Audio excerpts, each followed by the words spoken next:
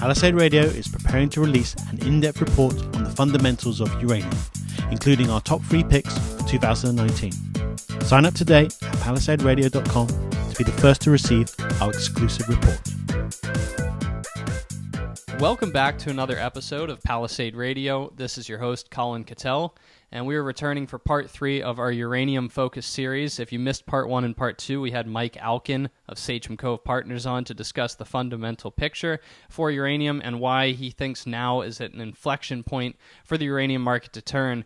And to follow up on that conversation, a returning guest and favorite guest of the program, Daniel Major. He's the CEO of GoviEx Uranium. Daniel, welcome back to the program. Hey, Collin, uh, always a pleasure. I love these conversations. Well, part of this series is about offering listeners different lenses through which to observe the uranium market. There are, of course, ex- exploration focused companies. There's companies in the Athabasca Basin. Uh, there's companies focused in South America. There's producers. And then there's where GoviEx falls in, which is a development company. And what is you're working on different kinds of internal documents, things like pre feasibility and feasibility studies. You're working with governments actively for permitting purposes. You're working with banks for financing, utilities for offtake partners. So I think it gives you uh, a, a, great deal of information on where the market's at. So why don't we start there? Uranium price is obviously starting to move up, and some of the associated stocks. What's your sense of where the market's at right now? Uh, we see it very much now on um, an upward trend. Um, we've had a couple of bounces here, but I think this is each one was testing a, new piece of information. Um, I think what you've seen, you've seen a steady growth in uh, nuclear energy production. I mean, it troughed at the low in 2013, and since then has been picking up very solidly. You've got the fastest growth of reactor builds in the last 25 years and increasing.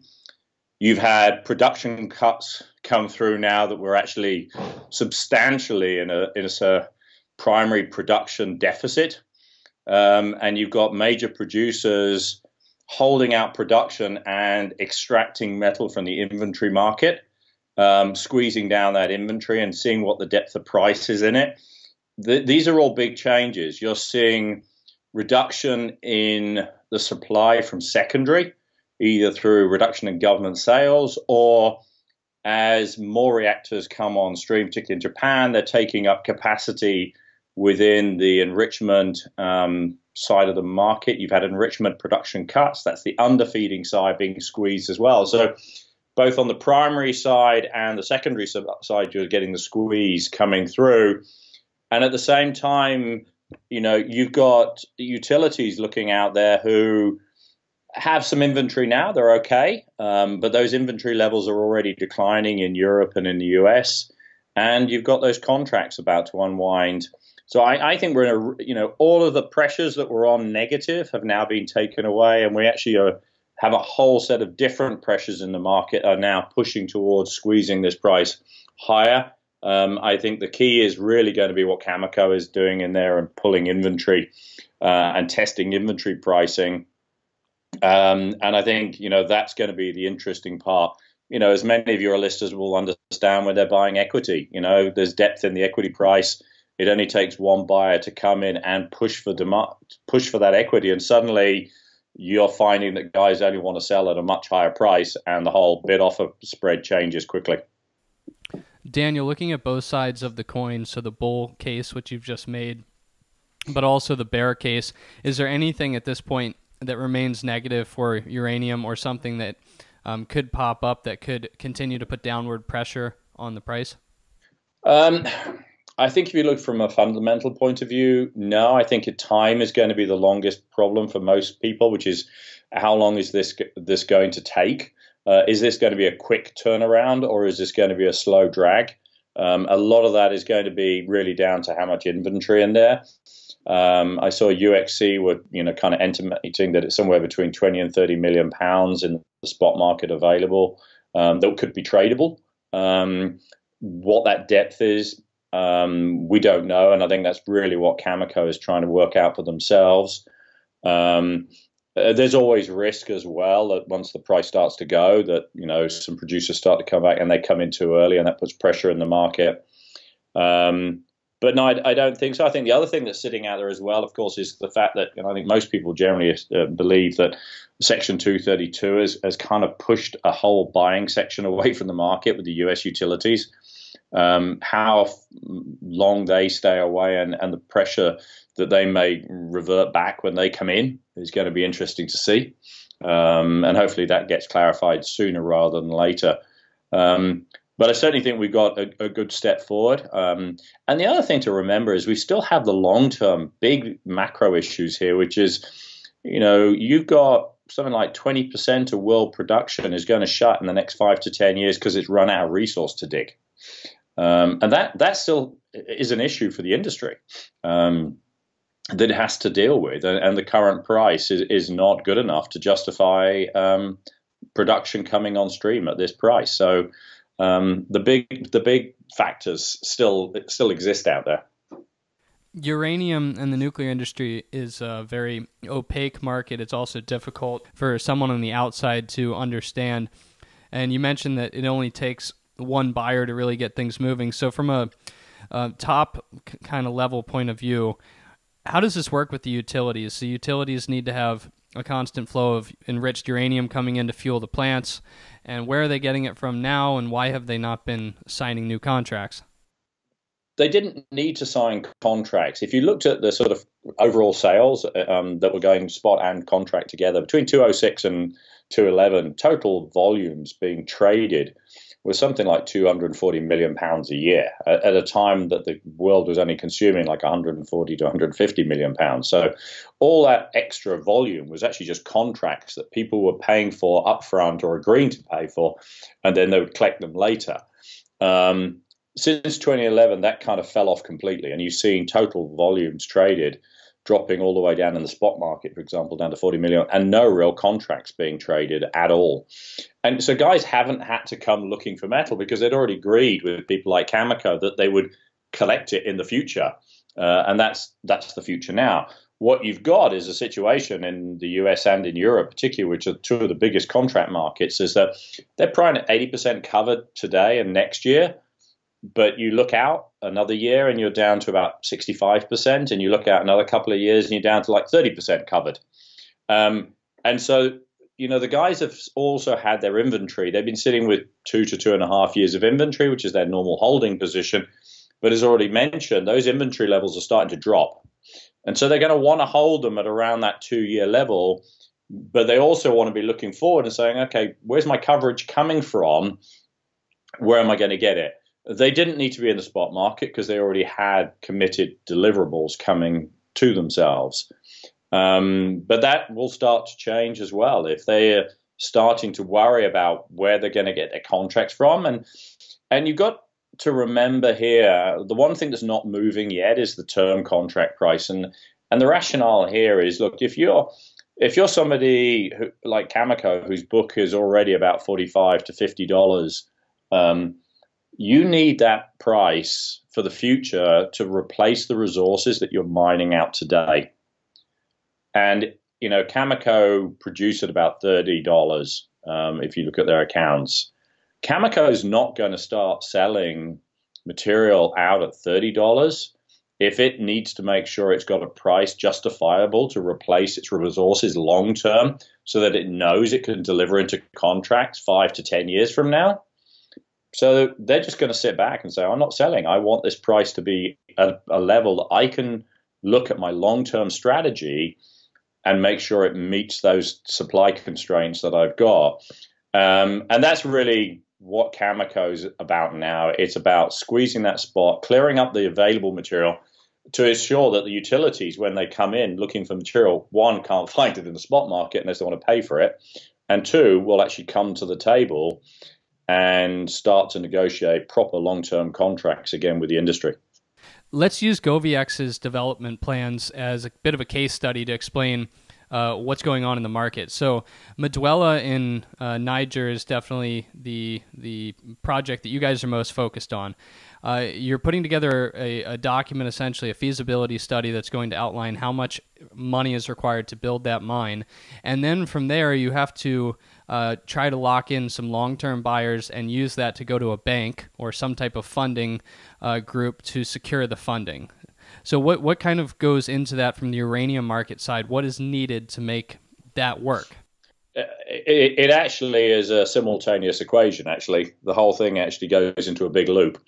Um, the first thing, you know, we, we have one advantage uh, in this process. We already have the permit. So we're not somebody who has got to work through the whole process. And most companies sort of start with the banks and then still haven't got their permits. So they're waiting for their, their legal bit to get sorted out. We already have that. So what we're doing is we're working with the, the off takers, the banks, and the feasibility study at the same time. And what we're doing is looking at the capital cost and the project and the operating costs and saying, all right, what are the benchmarks we need to achieve? Um, and on that basis, what is the loading of debt we can take?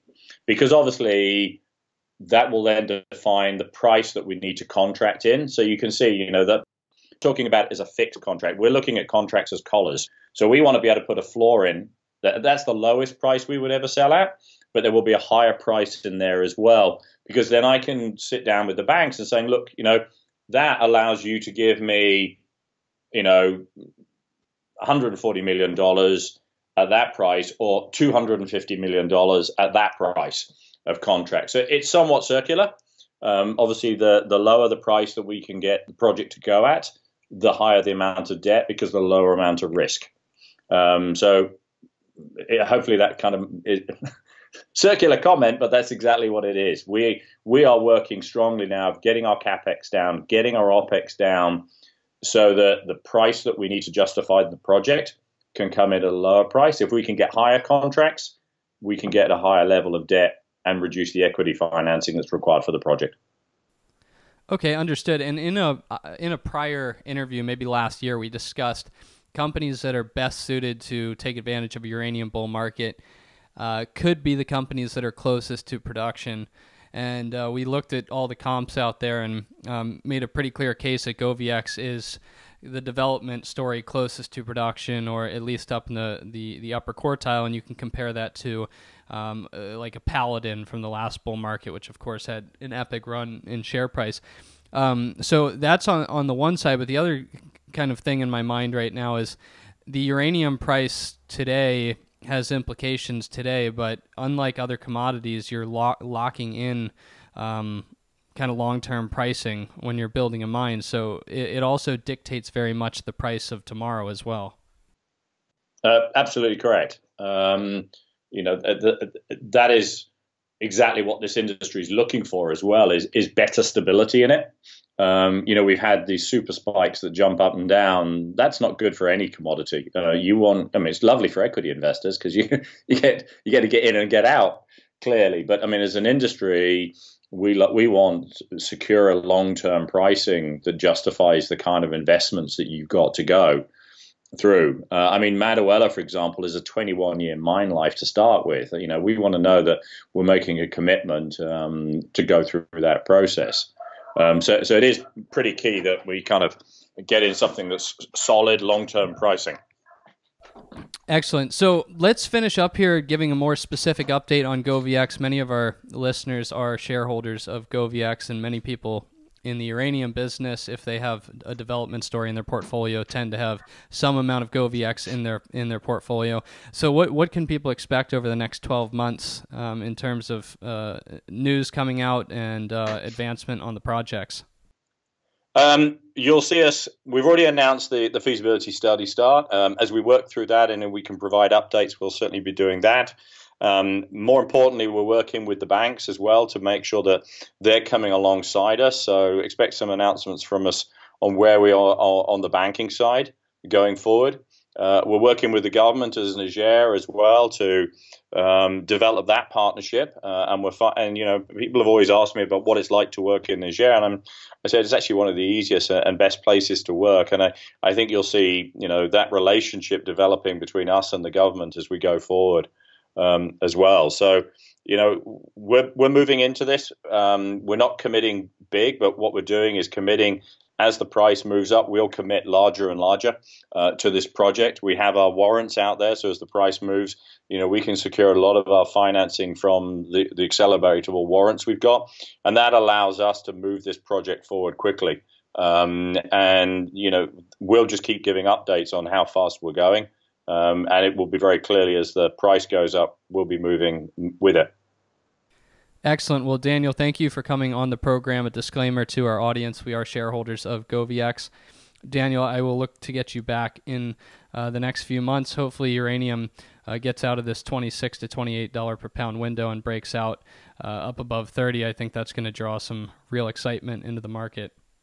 Uh, I totally agree. I totally agree. I, I just add one add other comment for you, Collin, and I think one thing you're seeing as well is culturally a change towards nuclear as an acceptance. There's a lot more articles out there for your readers that can find showing it. And I think one of the highest lights for me was the fact that the WNA has now been invited into the United Nations Energy Council, whereas before nuclear was kept out of the World Bank forums.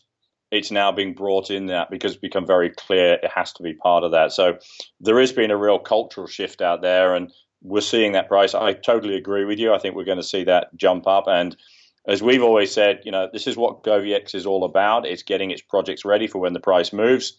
We are in that process and we're moving forward with it. As the price accelerates, we'll accelerate with it. Excellent. Well, it does take a while for public sentiment to change on something as polarizing as nuclear power. I think the facts have been out there for a while, but it's good to see industry and uh, the public really grasping the power of uh, nuclear and the safety so hopefully that uh, continues to uh, to uh, shift in public sentiment, and that'll just help the case more. Absolutely, and and thanks for taking the time with me. I, I always appreciate our chats. Excellent. Thanks, Daniel. Take care.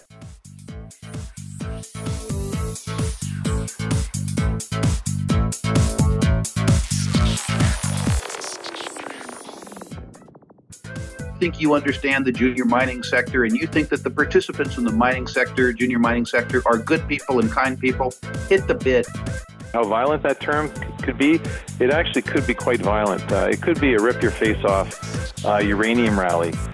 And the world is always going to need raw materials. It's going to need copper and gold and nickel and so forth. Totally destabilized. Hey, hey, Troll, did you hear what's going on in Yemen?